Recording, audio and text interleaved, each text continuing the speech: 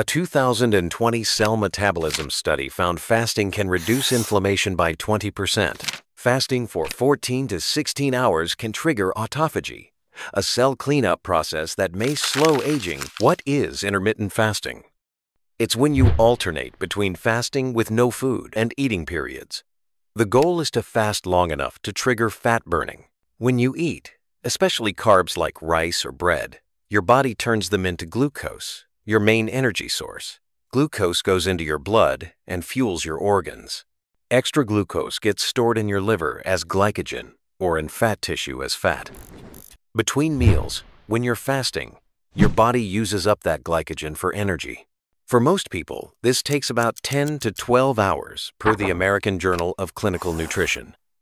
If you exercise, it's even faster, maybe 6 to 8 hours. Once glycogen is gone, your body starts burning fat. It breaks fat into free fatty acids, which your liver turns into fuel called ketones.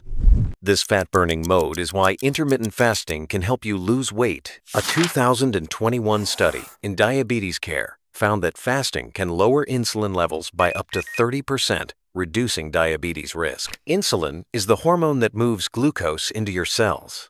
After eating, insulin rises to handle glucose.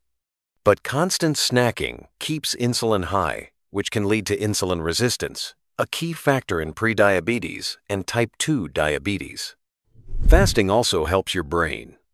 A YouGov poll from 2022 found that 50% of U.S. adults who tried fasting felt more focused and energized.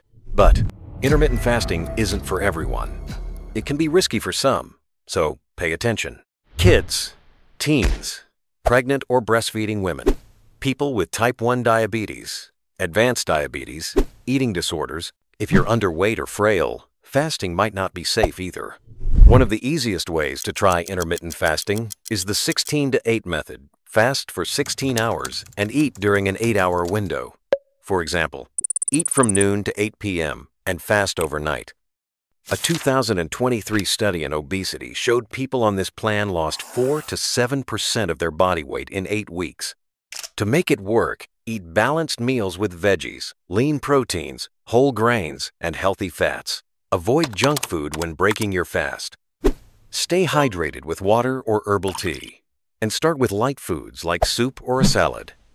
If you feel unwell, stop and talk to a doctor. Always check with a doctor if you're unsure. If this video was helpful, give us a thumbs up, subscribe for more health tips, and comment, have you tried fasting? Or are you curious to start? Thanks for watching, stay healthy, and we'll see you next time.